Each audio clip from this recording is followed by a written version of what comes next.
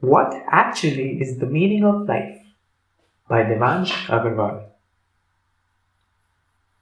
So I'm pretty sure many of you must have had this pertinent question. What is the meaning of life? I mean, why do I live? Why have I, what have I done to live? Is there any grand purpose or not?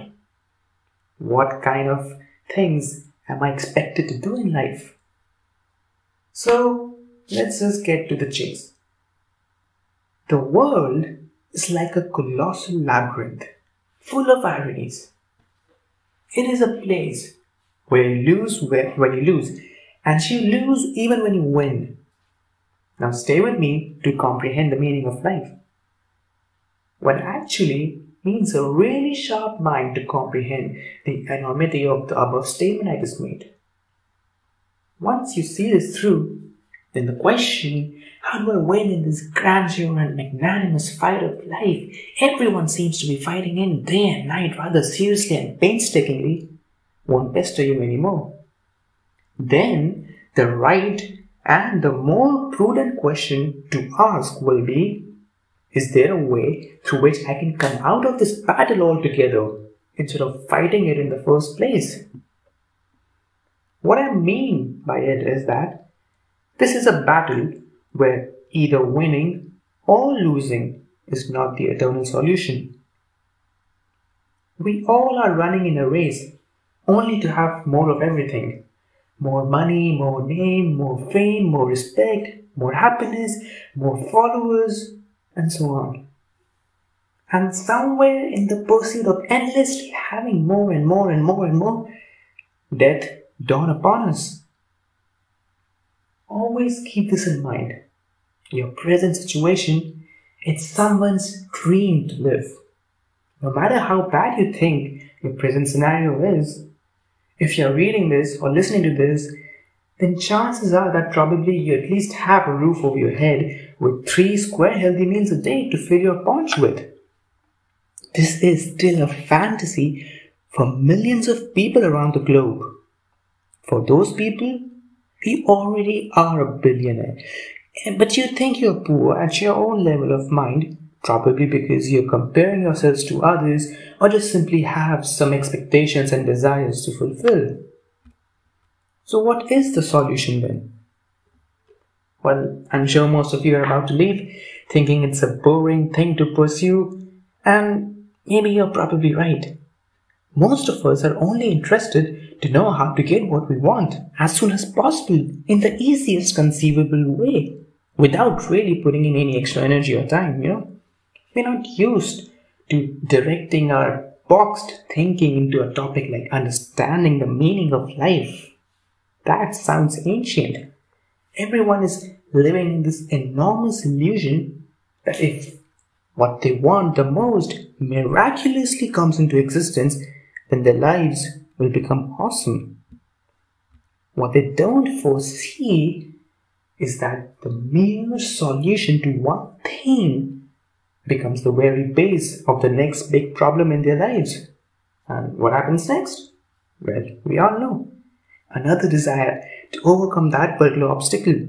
And like this, the loop keeps on continuing 24 7.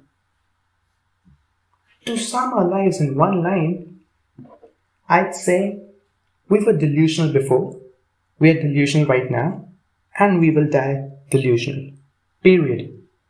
Might sound bitter, but it is actually the reality with so many of us.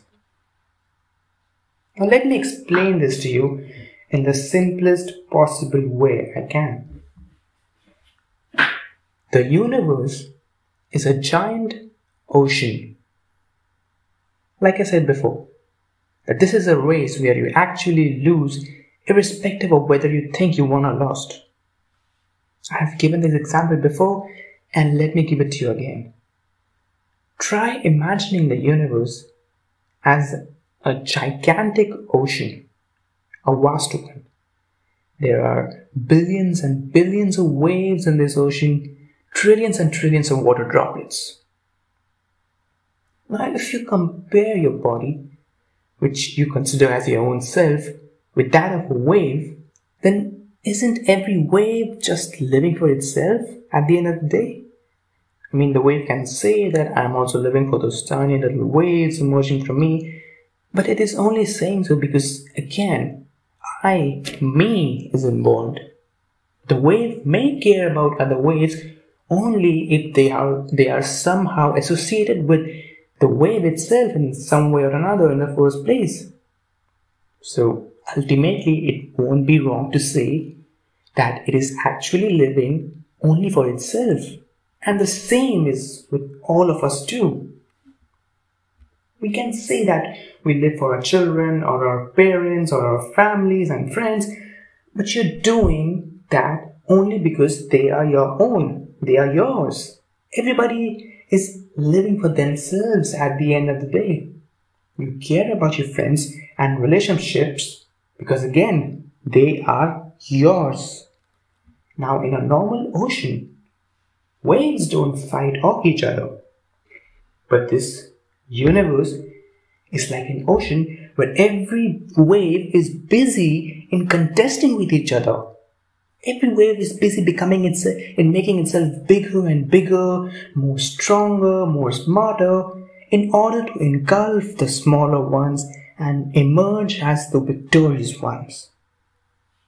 Is the world gonna change the way it is running? Probably not. I mean, ask yourself if it comes to a choice to save your own family and a bunch of 200 other people you don't know, who would you choose? And let me tell you, this is not a movie going on where you can save both of them miraculously. So the point being, the very nature of this world is that everyone is living for themselves. Yes, I'm repeating it again and again because it's true. They all are thinking about themselves, myself included, making themselves more and more powerful by suppressing others directly or indirectly. How can anyone be truly joyful in such an environment. People can just show from the outside their smiling and happy faces, but from the inside, they're crying. And the more interesting part about this battle is that no one is actually carrying any kind of firearms or weapons here, which is what makes it even more dangerous than the real battles fought at the borders. Everybody is carrying flowers here and is trying to show how caring and loving they are. This is what makes it one hell of a treacherous war because you can't say for sure who is the real enemy here. Your enemies may have set their camps right under your nose and you wouldn't even know about it until it is too late. Like the Joker said, their morals, their codes, it's a bad joke dropped at the first sign of trouble. They're only as good as the world allows them to be. When the chips are down, these civilized people, they will eat each other. I mean, how true is that? Can these things stop happening all of a sudden? Well, of course not. It's impossible. So definitely, you gotta make yourself robust enough to live in this world if you even want to survive. No questions about it. Robust in the sense that you must have an understanding of this ocean, the meaning of life. So stop squandering time. Our majority of time is spent in plain simple time pass instead of making ourselves a great warrior for this battle of life. Our time pass here is anything that is deteriorating your energy in any shape, size, or form. If you're not learning from whatever is happening to you at the present moment, that will all come under the radar of time pass. All the pleasures you're indulged in. A person, after committing every sin in the rule book, looks to God for atonement. This is also what most of us do, as they get ex- as they expect to get away with it. Now you gotta decide whether you want to spend your time to be a fierce warrior or to get spoiled by the pleasures you keep running after. And let me tell you, escaping is not the solution. We all look for escapes. We all are experts at running away from our problems. But you can't escape them forever. Because no matter where you go, you can't really escape this ocean. Remember, I told you the whole universe is an ocean. Wherever you escape to, there will be ocean. Since escaping is not the answer you were looking for, ideally, you should be investing your time in making yourself a brave warrior. You gotta make yourself so powerful and smart, then you wouldn't have to beg anyone to get anything in life. You gotta make yourself skilled enough to be deserving to get what you want and be intellectual enough so that you can smash through whatever obstacles come in your path. Okay, but hold on. Didn't I say at the starting that this is a war where you lose even when you win? So the bigger predicament here is whether being a warrior is the ultimate solution or not. Let's say you even become the best warrior ever born on the face of the earth. Does this mean that you're absolved of all the problems? I mean, you can get sick anytime. The people close to you can die anytime. Even you will die at some point, or just any one of the 112 disastrous turns your life can take at any given moment. If you look closely, there are pros and cons to being a warrior, and sometimes even not being a warrior also do the work. I mean, think about it. Who is the safest person in a war? It's people who aren't warriors. Because they can sit at the fences while the real warriors are busy protecting and fighting for them. They are probably going to be the last ones to face the music, but one doesn't escape the sorrow. It lies on both sides.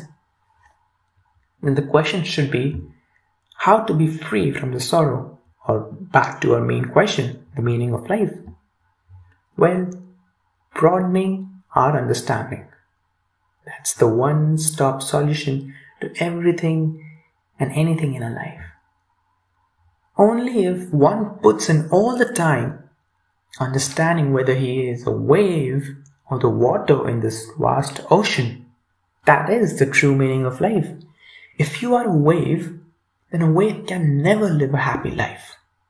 It might show it from the outside, it may brag about its size and power, but from the inside it will, it will never be truly blissful. But hey, hey, hey, what if you are the water? If you are water, then there is no way to make you sad. Because waves form and die, but the water? No, the water never dies. It's eternal. And think about it, what actually is the truth now? Wave or water? If one removes wave, I mean, if one removes water from the wave, then where is the wave? In reality, there actually is no wave.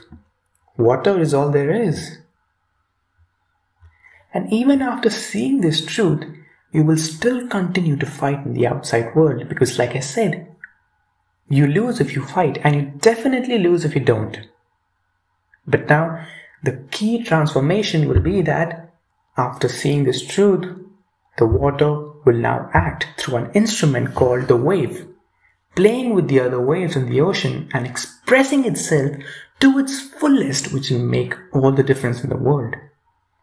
Now you will have the upper hand because you are playing with those who don't even know a single thing about the water, who believe that there, are, there is no water, just waves you will always have an upper hand over those who haven't yet understood the real meaning of life. Life will become a game for you where you will play not because you have any kind of greed to win or any fear to lose, but because it is in your very basic nature. You will rise above winnings or losings because you already know that you are the water, which is infinite. It doesn't matter whether you win or not in this game. Because now you know who you truly are. And because you know your true self, you will play like nobody has ever before. And it will be something worth watching. And what do you have to do now to see this truth? Do you have to stop fighting outside? Well, of course not. If you're fi- fighting on the outside all your time, then you sure as hell can take out at least one hour of your time every day on this inquiry, who am I? You can know more about what I really mean by saying that you are the water. You can ask questions about this on your own. You know, spend some time on your own to ponder upon this. Because one who knows who he truly is will eventually know everything there is to know. Now let's come to the final takeaway. I don't know whether there is a huge, grandiose plan set for us in the stars or whether we are mere puppets whose strings have already been pre-programmed by some supernatural power on the basis of which we are acting our entire lives. The point is that life has been given to us out of trillions and trillions of galaxies out there. We have already been bestowed with this stupendous gift called life. How does it matter whether we were destined to do something great or not? How does it matter whether we have any superior goals or purposes? How does it matter if we don't know the point of our lives? We have already got so freaking much that it doesn't make any sense to me that instead of enjoying each and every second of this precious gift, instead of being immensely grateful for everything the universe has done for us, instead of making this the greatest life anybody has ever lived, we are squandering time asking vague questions and even becoming morose on not being able to find our supposed ultimate purpose. Guys, for one, we are alive. And the cherry on top? We are goddamn Homo sapiens. Do we really need anything else? Why not put that great intelligence of ours to some meaningful work, create some amazing shit, and simply live according to our basic nature? Other animals, they do have a certain limit of what they can achieve, but humans? We have been perhaps the only species yet so advanced and forward that it keeps on surprising itself time and time again with what it can achieve. There literally is no end to what we can accomplish and to what extent can we push our boundaries. Why not keep up with that spirit and surge ahead, playing our best games that we can? And if you're still looking for a purpose to live by or some ulterior and sophisticated meaning of life, I got one for you. Do something nobody has ever done before. Push the boundaries so freaking high, no one even dares to dream about beating it. Make something of yourself that the onlookers become flabbergasted and totally dumbstruck in awe of you. Do something that makes you say to yourself, you did it. And guys, always remember, just like Rumi said, you are not a drop in the ocean. You are the entire ocean in a drop. Thank you very much.